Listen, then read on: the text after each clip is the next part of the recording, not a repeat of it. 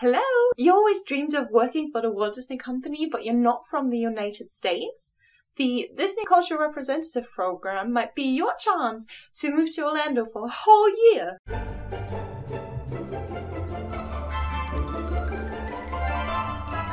This video is an overview of the program, but I will be releasing more in-depth videos of the different topics that I'm covering today.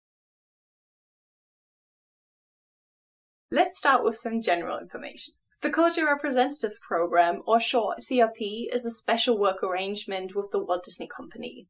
You actually enter the US on a cultural visa, but you're still allowed to work for the company. Because of that cultural visa, the overall goal of the program is cultural exchange and cultural diversity. So what does that mean exactly? You go to the US in order to learn something about the American culture, but at the same time, you teach others well, specifically Americans, about your own culture and your own traditions. According to Disney, this program is actually really helpful in order to create immersive experiences for the guests and to transport them into different worlds and different cultures.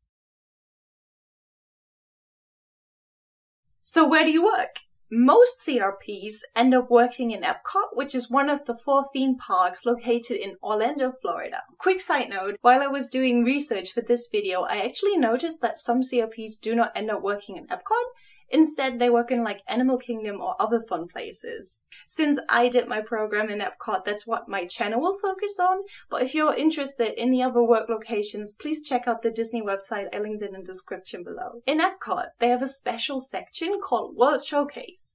And this is the place where they recreated different countries from all over the world. So when the guests travel around the globe, they get to meet the internationals which makes their travels more authentic. Ta-da! I'm a real German. Crazy, right? Up next is the eligibility. You only really need three things in order to participate in Disney's Culture Representative Program. First things first, you need to be at least 18 years old. Secondly, your nationality, so your passport, has to match one of the 10 foreign countries represented in Epcot. Let's see if I can remember them from the top of my brain. Mexico, Norway, China, Germany, Italy, um, France, Morocco, Japan, the United Kingdom, and Canada. Third, but definitely not least, is some kind of English proficiency, which doesn't mean that you have to be fluent at all. Don't get me wrong, but you should be able to communicate confidently with people because that's what you're going to do throughout the whole day, just talking to people in English. So, since I kind of already mentioned it, what's your job going to be? Well, you actually become a Disney cast member, which is pretty cool in itself, but as a culture representative, you have like kind of special role because your job is to share your culture and traditions with the guests. Basically, you just interact with people from all over the world visiting Epcot. Most of the time, you just end up talking about your own country. So, what are the people like? What's the country like? How's the landscape like? What's the food like? Stuff like that. The guests also enjoy when you speak your native language to them because sometimes they actually had it at school or something and they're able to speak a few words themselves. So that's the general job description. But you end up in an even more specific role. In most countries, there are three different roles you can do.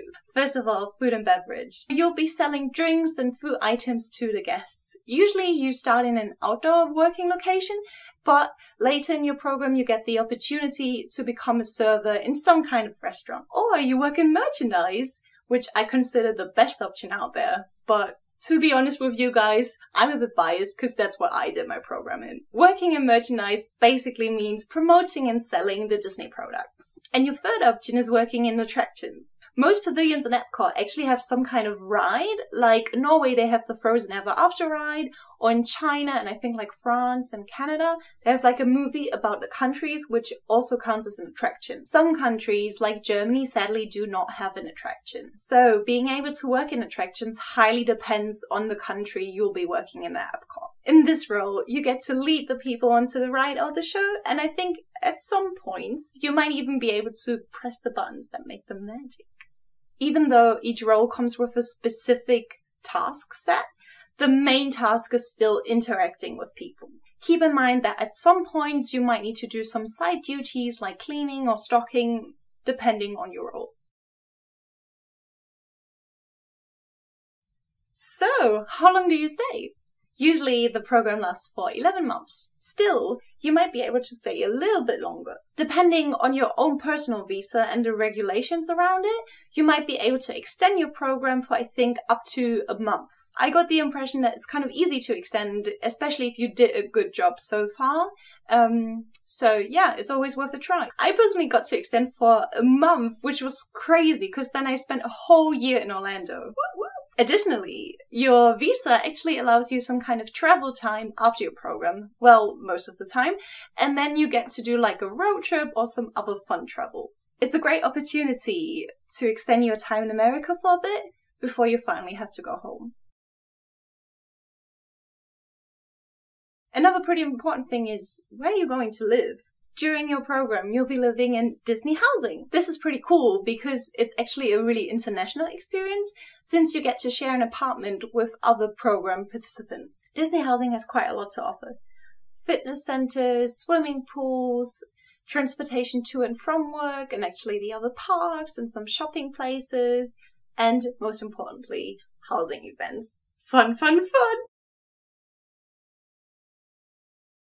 Alright, so I know you watched this whole video, but what are the main reasons to actually do a Disney Culture Representative program? The main reason is if you love Disney, then this program will be the most magical time of your life. As a customer, you get pretty cool benefits like discounts on Disney merchandise, and you get free entries to the parks, and it's just all so crazy. They even offer special cast only events like previews of new rides before the guests get to see them, or you get to be part of a backstage tour where you learn all the details and some fun facts about your favorite attraction. You get a really deep insight on how Disney does business, how the backstage areas look like, and you learn a lot about guest satisfaction and guest service. On top of that, you have your own adventure in Orlando or the US in general if you travel around for a bit, and you get to experience the American lifestyle, which is really open and spontaneous and friendly. And maybe you can even make it to some of the US neighboring countries. You will meet so many people from all over the world, and you will make friendships that last a lifetime. Since you will spend so much time talking to the guests or your roommates or your friends, you will definitely improve your English. You will not only learn something about other cultures, you will also reflect your own culture and learn a lot about yourself. And after your program, you will definitely be more self-confident. So what are you waiting for? In case you would like some additional information about the program, I will leave some links down below. So where are you from? Would you consider doing a program? Or are you a former CRP and actually already did one? Would you do another one? Maybe you can inspire others by telling them the reasons why. I'm looking forward to seeing you in my next video. Until then, stay magical!